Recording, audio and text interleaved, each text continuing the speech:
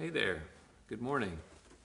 My name's Josh Moore, and I welcome you to our children's message this morning.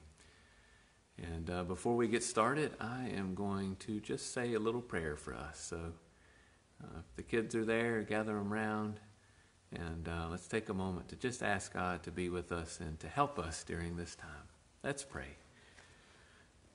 Oh Lord, we love you and we thank you so much that you sent Jesus into the world that we could know you. And I pray that this would be a special time and that you would give us understanding. Be honored in our time and bless the children, I pray. In Jesus' name, amen. All right, guys. Well, thank you so much for coming. It's a real joy to have you be here with me. And uh, we're going to talk about God today. Uh, every Monday, morning at 9.30 we talk about god we talk about jesus and the bible. And uh, i'm hoping that you're learning some things here. Now this week we are going to talk about a very important topic and it's how can you get to know jesus? Right? We've been talking a lot about jesus that he was a man who lived uh, many years ago and maybe you're wondering how can I know him? How can I get to know him? Well, first, before we talk about why this is so very important, I want to remind you of what we talked about last week, because that was really important too. Do you remember what we talked about last week? Some of you remember, maybe? Well, last week we talked about about how to know God, right? We talked about getting to know God. Remember we said that it would be really wonderful to know um, some famous people, like we talked about uh, LeBron James and, and Dwayne Johnson, and people that we, we respect and we see on TV, and, and that maybe we'd really want to know uh, some special people out there. And then I talked about how God was, would be the most wonderful person anyone could know, right? Because God made all of this the world and the galaxies and the mountains and the beaches. And He made you, and He made me, and He made all your friends and all the things that you love. He made them. Wouldn't it be amazing to know God? So we talked about that last week about knowing God. And remember what we said about knowing God? Do you remember? We said that we can get to know God by getting to know Jesus. That when we know Jesus, we know God. Because Jesus said all of these amazing things about how he was one with God. And when he spoke, he spoke the very words of God. And when he did things, when he did works and miracles and signs, it was God working through him and in him. You remember that? So if we want to know God, we get to know Jesus. And that's why it's so very important to get to know Jesus. So we're going to talk about that today, about how can we know Jesus. And I want to share with you really quick as we get started. I want to share with you a song that was very special to me. I'm not going to sing it and I'm not going to play it, but it was a song called Knowing You. And it's all about knowing Jesus. It was a very special song to me. And it says this the chorus of the song says, Knowing you, Jesus, there is no greater thing. You're my all you're the best. You're my joy, my righteousness. And I love you, Lord. And I remember singing that song a lot when I was getting to know Jesus because I began to really love Jesus. And I, I realized that knowing him was the greatest thing ever, that he was the best person ever, and that knowing him was a real joy and privilege. So I hope that, that you will get to know him as we talk about these things and that you will have a relationship with Jesus just like I do now. That would be really special. I want, you, I want that for you. There's nothing better for you than to know Jesus. So, but again, I want to ask the question how can we know Jesus? Right? How do we know him? How do we get to know Jesus? Jesus lived 2,000 years ago on the earth. He lived 2,000 years ago. So, how can we know somebody that, that lived way do we create a time machine like the one in Back to the Future and, and, and go back and know Jesus? What do we do? Obviously we're not going to create a time machine. So, but that would be really cool if we could go back and see Jesus when he lived on the earth. But how do we know him?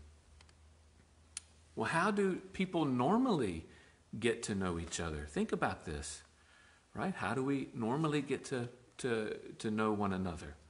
We talk to each other, right? We might sit down like these two people here and, and, uh, and, and talk, or maybe adults especially sit down and they might have coffee, okay, and they laugh and they share stories.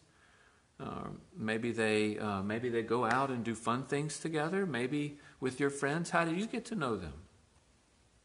Right? Maybe at school. Well, right now we can't we can't be at school. But how did you get to know your friends? Yeah, maybe by you know doing uh, work together at school, or playing on the playground, or sitting in the cafeteria together. Right? You get to know people by mm-hmm. talking with them and listening and sharing life with them. Right? So that's how we get to know people. Well, how do you get to know people that you can't see or talk to? Right? So we Jesus is not right here. I can't see him. Right? Uh, he's not he's not here. I can touch him like this Charles Spurgeon bobblehead guy here. Um, I can't see and touch Jesus, so how can I get to know him? It's a good question, right? It's a very good question. We're going to talk a little bit about that. Well, how would you normally get to, again, know, know, to know somebody that you can't see? Maybe like, uh, maybe your, your mommy or your daddy or whoever takes care of you. Maybe they've told you about someone else that you, that you know is a real person, but you never got to see them. Maybe like a great grandmommy or a great great granddaddy or someone. Okay, or maybe a long time uh, relative of yours, someone that lived a long time ago.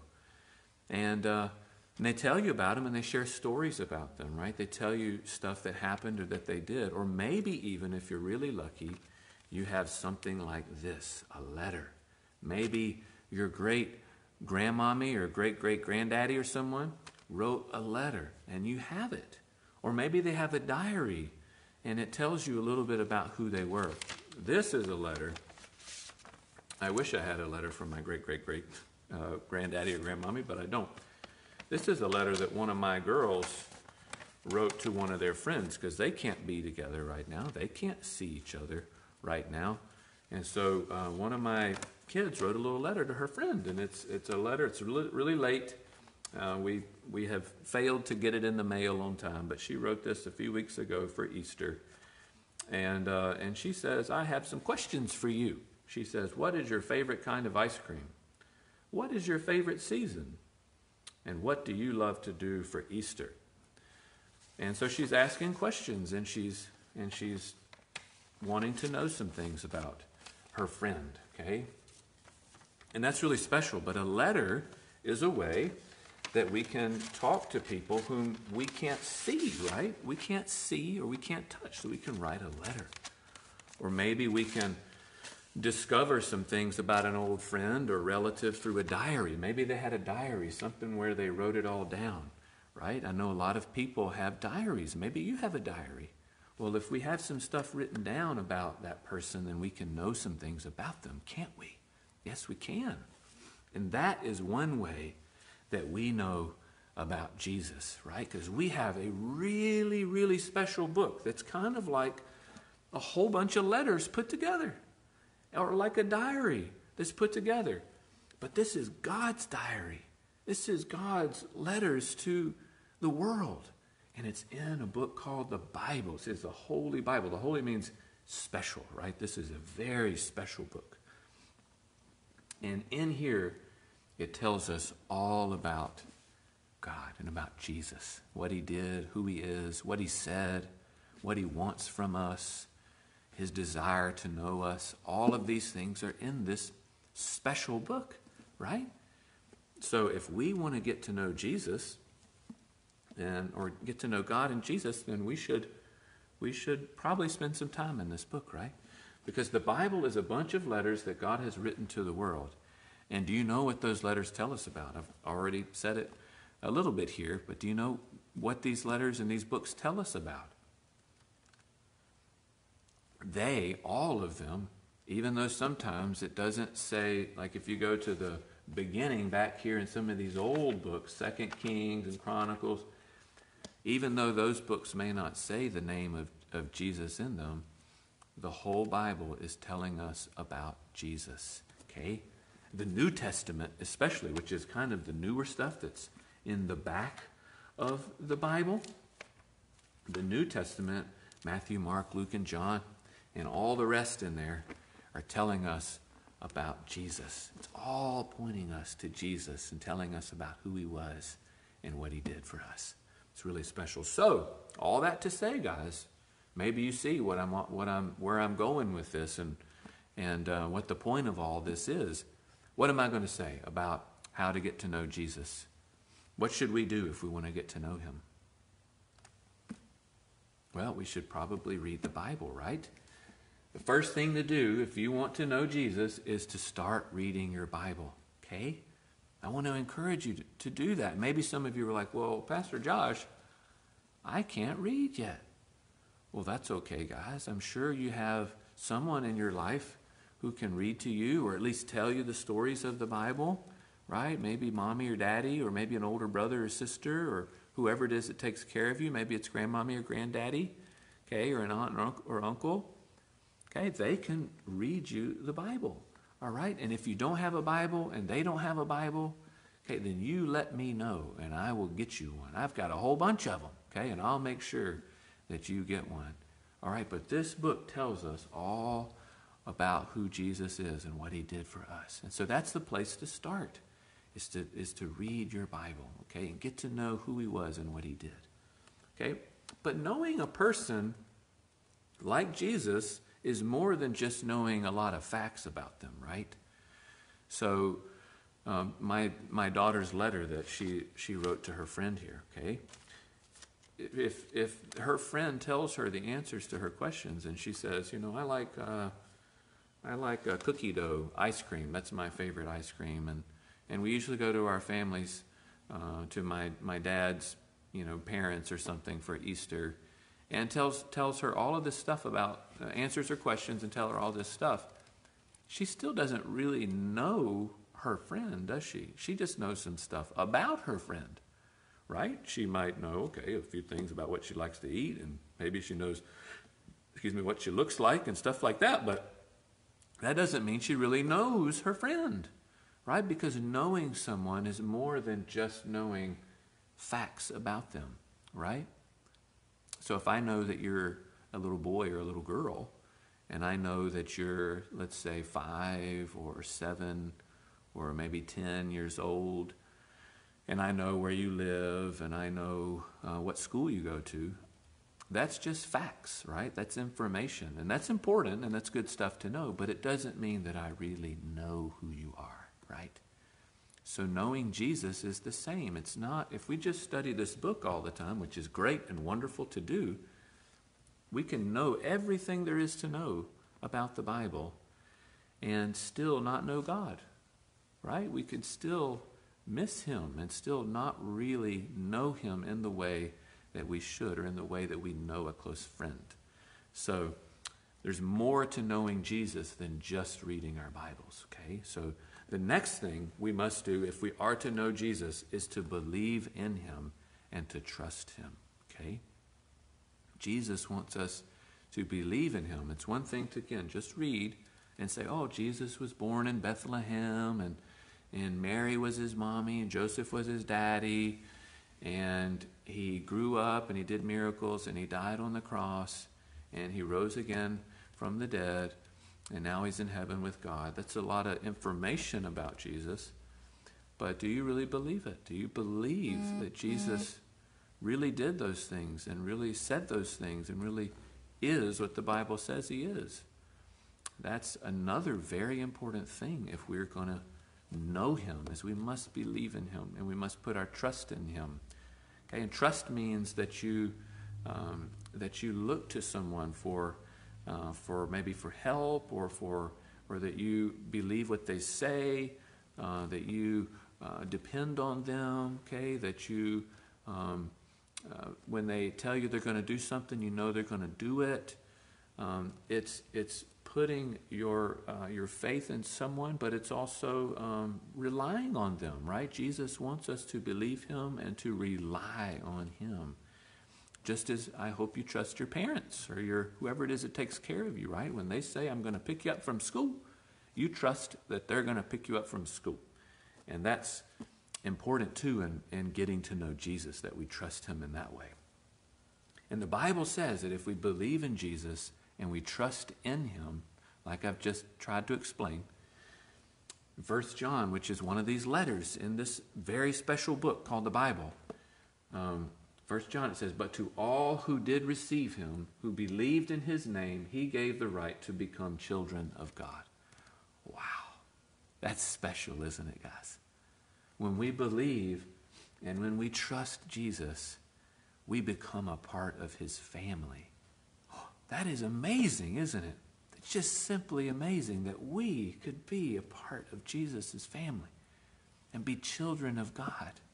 That's incredible. And of course, if we're children of God, if Jesus is, is related to us, if we're in his family, of course, he knows us and we know him, right? We, we've become really special friends at that point, right? So if we want to know him in the way that we might know our brother or our sister or mommy or daddy, not just knowing facts about him, but if really want to know him, then we believe in him and we trust him, and then we become a part of his family. So we enter into this really special relationship, and we know each other intimately, just like family members know each other. That's really awesome, isn't it? So that's the second thing about knowing Jesus is putting our trust in him and when we do that, we become a part of his family. Now, I want to invite you to do that today if you haven't done that already.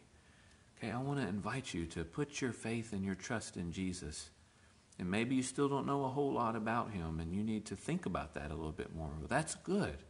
That's good, and I want to encourage you to do that. But the Bible is a place where we can read all about these things. So get your Bible Get your mom or your dad or someone that can read to you and read your Bible and put your faith and your trust in what you read. And say, I believe these things, Jesus. And when you do that, you will become a part of his family. And, uh, and you can invite Jesus to be in your life and tell him that you want to follow him. And we'll do that in just a moment together if you would like to do that. But there's one more step, okay, to getting to know Jesus in a really special way, and not just knowing about him but really knowing Him. One more step. Oops, I'm sorry, I skipped a slide there. There we go. The third thing you must do to know Jesus is simply to have relationship with Him, right?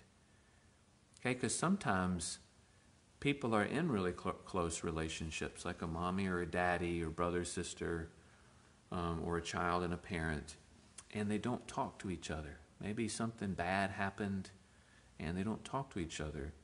Um, and so they don't really have a relationship with each other, do they? Right? Well, if we're going to really know Jesus, then we need to have a relationship with him. God wants that with us. He longs to be in relationship with us. So if we're going to know him, we need to be talking to him and listening to him and thinking about him. Okay? So a big part of relationship with God, of knowing Jesus, is prayer, okay? We pray, we talk to God, we share our heart with Him, and we tell Him what we're feeling and what we're thinking. And that's a really, really important part of knowing Jesus is prayer. And even though He may not speak back to us like a friend that we could touch or feel would speak back to us, okay, He speaks to us in the Bible, okay, and He communicates to us in our hearts somehow. Okay, and He leads us. And there is a way that God can speak to us if we listen and if we're careful. He will guide us and direct us, just like a parent or a mommy or daddy might. They might give us wisdom and advice. And Jesus will do that too as we get to know Him more and talk to Him more and pray to Him more. Anyway, so I hope that helps. Those are a few thoughts about getting to know uh, God through Jesus. And uh, I hope that was helpful. And uh, remember, uh, if you don't have a Bible, please let me know and I will get you one. And, uh, and I also want to draw your attention to this really special book over here. It's called The Knight's Map. And it tells us a lot about how important the Bible is in getting to know God and Jesus. And so I want to um, invite you to, to pick up a copy. You can get one on the internet or ask me, and I can try and get you a copy. It's really, really wonderful book. And it helps, uh, especially with little children, it helps little children understand how important it is to have the Bible, which is like God's map. Um, it, it, guides us and leads us and helps us to know Him. So, anyway, let's pray. And if uh, any children out there are feeling like you really want to know Jesus and to receive Him into your life, then uh, you can pray this prayer with me right now. Okay, so let's pray. Dear Lord God, we thank you so much that you sent Jesus that we might know you. I want to know you more, God. I want to know your Son, Jesus. Help me to know him. Show me more about who he is and, and what he's like. I believe in him, and I put my trust in him. And I pray you would guide me and you would lead me, and that you would send your Holy Spirit to live in my heart, that I might walk with you and that I might know you more and more. Thank you so much for hearing my prayer, and it's in Jesus' name that I pray. Amen. Well, thank you for joining me, guys. Again, we'll do this next Monday at 9:30 a.m. And uh, God bless you. Take care.